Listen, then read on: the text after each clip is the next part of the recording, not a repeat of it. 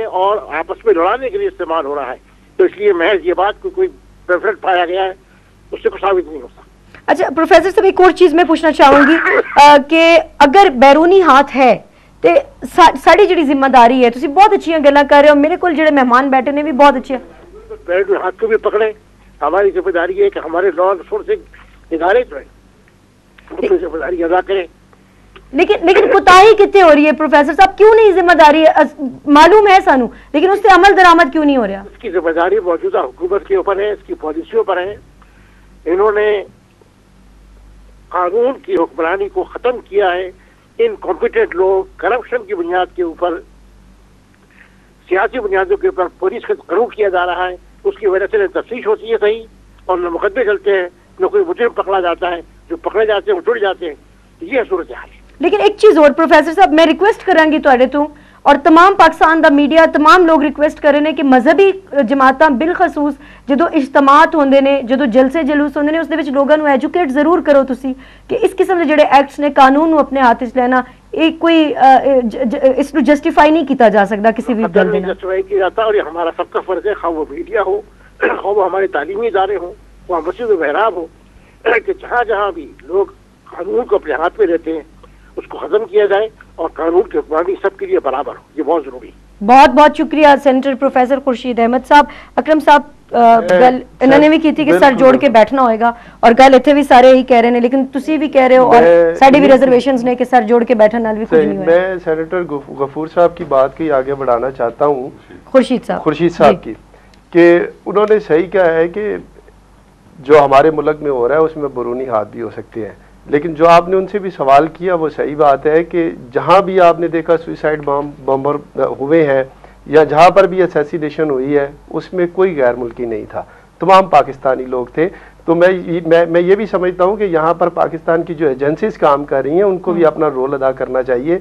और जो लोग शिद्दत पसंद हैं या इंतहा पसंद हैं उनसे भी मुजाकर करने की ज़रूरत है कि वो लोग आखिर ऐसा क्यों कर रहे हैं और उनके उनके पीछे कौन से ऐसे हाथ हैं? और ये जो रिलीजस लोग हैं इनको भी अपना रोल अदा करना पड़ेगा ताकि इस्लाम तो टॉलरेंस का दर्ज देता है भाईचारे का दर्ज देता है। अगर हम इस तरह निकल पड़ेंगे तो ये तो लॉ एंड ऑर्डर की सिचुएशन पाकिस्तान को तबाह कर देगी। मेरा वक्त थोड़ा रह गया मैं राना नजीर साहब थोड़े को पहले आवांगी और उसके बाद नवाब साहब तो पूछेंगी। पंजाबी तालिबान की जी गल हो रही है और जरा अज अभी देखिए कि कोई बयानबाजी भी हुई चीफ मिनिस्टर पंजाब और रहमान मलिक साहब के दरमियान। क्या आ, कह रहे हैं चीफ मिनिस्टर पंजाब के मुतासिबाना बयान दे रहे हैं और तकसीम के बयान दे रहे हैं रहमान मलिक हाँ, साहब। बिल्कुल ये गल दुरुस्त है। सब तो पहले तो मैं ये अर्ज़ करांगा कि जो पंफलेट मिले जी जी। ये पंफलेट ही एक साजिश है। अगर ये जड़ा ना ये बहुत बड़ी पाकिस्तान के खिलाफ साजिश है। अगर एक इन्ह जमात जो किसी दीनी जमात ने किया हों तो नंबर दो तो ना दौड़ना नहीं सी नंबर तो अगर दौड़ना सी फिर पीछे पंफलेट नहीं सी छोड़ना। ये हम्म। बकायदा पूरी स्कीम है पाकिस्तान के खिलाफ जी साजिश है। पंफलेट का मिलना इस गल की निशानदेही है कि एक साढ़े मुल्क के खिलाफ एक साजिश है।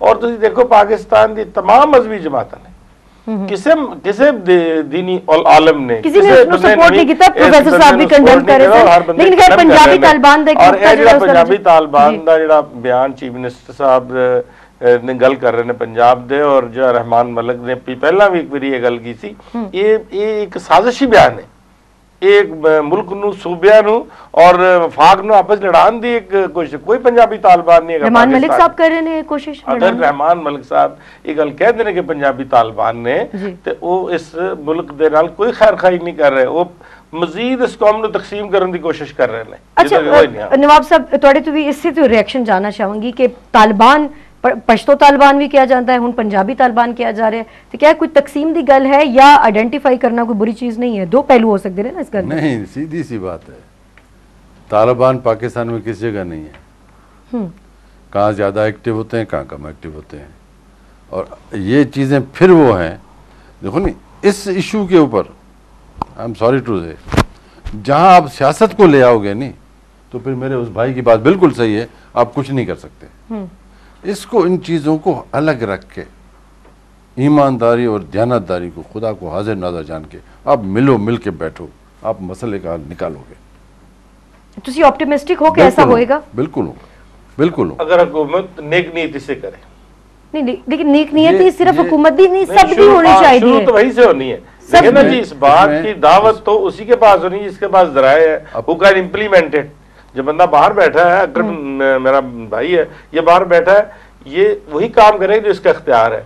लिहाजा कभी भी अपोजिशन की बुलाई हुई एपीसी नहीं होती हमेशा एपीसी जो रूलिंग पार्टी है वही बुलाती है और वही का तो- बुलाना देखो राना साहब नजीर साहब मेरे दोस्त हैं जी जी। कलीग भी हैं। हम्म। अब इन्होंने भी वो थोड़ी सी रख दी नहीं कि अगर नेक भाई अब फ़िलहाल तो इस चीज़ पे सोचो सब नेक नियत हैं। मैं कह रहा हूँ आप लोग नेक नियत से आओगे।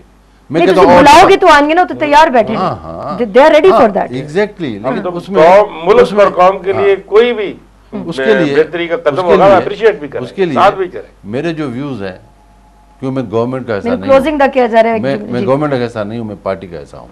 तो मैं अपनी पार्टी की तरफ़ से अपनी गवर्नमेंट तक अपने व्यूज़ पहुँचा चुका हूँ। अब उनके ऊपर है कि वो क्या करें? बहुत बहुत शुक्रिया। नवाब यूसुफ तालपुर साहब राना नज़ीर अहमद साहब और अकरम मसीह गिल साहब नासरीन बड़ी लंबी बहस है और अ, अ, जो कुछ हो रहा है पाकिस्तान के अंदर यकीनन अफसोसनाक है काबिल मुजम्मत है और जिस तरह नवाब साहब ने अ, किया सी कि ਇਹ ਪਾਕਿਸਤਾਨ ਵਾਸਤੇ do and dye the issue ਹੈ ਇਸ ਨੂੰ ਉਸ ਉਸ ਬੁਨਿਆਦਾਂ ਤੇ ਹੰਗਾਮੀ ਬੁਨਿਆਦਾਂ ਤੇ ਵਾਰ ਫੁਟਿੰਗ ਤੇ ਇਸ ਇਸ਼ੂ ਨੂੰ ਹੈਂਡਲ ਕਰਨਾ ਹੋਏਗਾ ਇਸ ਨੂੰ ਸੋਚਣਾ ਹੋਏਗਾ ਔਰ ਜਿਸ ਤਰ੍ਹਾਂ ਅਸੀਂ ਪਹਿਲੇ ਕਰਦੇ ਆ ਰਹੇ ਹਾਂ ਕਿ ਵਕਤ ਜ਼ਾਇਆ ਕਰਦੇ ਆ ਰਹੇ ਹਾਂ ਇਲਜ਼ਾਮ ਤਰਾਸ਼ੀਆਂ ਦੇ ਅੰਦਰ ਕਿ ਉਸ ਦੀ ਜ਼ਿੰਮੇਵਾਰੀ ਹੈ ਔਰ ਉਹ ਬੁਲਾਏ ਔਰ ਉਹ ਬੁਲਾਏ ਹਕੂਮਤ ਜਿਹੜੀ ਹੈ ਬਾਹਰ ਹਕੂਮਤ ਨੂੰ ਆਪਣੇ ਬੜੇਪਨ ਦਾ ਸਬੂਤ ਦੇਣਾ ਹੋਏਗਾ ਔਰ ਹਕੂਮਤ ਨੂੰ ਇਸ ਇਸ਼ੂ ਦੇ ਉੱਤੇ तमाम ਉਲਮਾ ਨੂੰ तमाम ਸਿਆਸੀ ਜਮਾਤਾਂ ਨੂੰ ਮੀਡੀਆ ਨੂੰ ਔਰ ਅ, ਇਸ ਮੁਲਕ ਦੀ ਜਿਹੜੀ ਯੰਗ ਜਨਰੇਸ਼ਨ ਹੈ ਉਹਨਾਂ ਨੂੰ ਇਕੱਠਾ ਕਰਕੇ ਇੱਕ ਅ, ਸੋਚ ਦੇਣੀ ਹੋਏਗੀ ਕਿਉਂਕਿ ਲੀਡਰਸ਼ਿਪ ਹੁੰਦੀ ਹੈ ਜਿਹੜੀ ਵਿਜ਼ਨ ਦਿੰਦੀ ਹੈ ਜਿਹੜੀ ਸੋਚ ਦਿੰਦੀ ਹੈ ਇਸ ਲੀਡਰਸ਼ਿਪ ਦੀ ਇਸ ਵਕਤ ਪਾਕਿਸਤਾਨ ਦੇ ਅੰਦਰ ਕਮੀ ਹੈ ਇਸ ਲੀਡਰਸ਼ਿਪ ਦਾ ਮੁਜ਼ਾਹਰਾ ਕਰਨ ਦੀ ਜ਼ਰੂਰਤ ਹੈ ਰਾਸ਼ਦਾ ਸਿਆਲ ਨੂੰ ਇਜਾਜ਼ਤ ਦਿਓ ਰੱਬ ਰਾਖਾ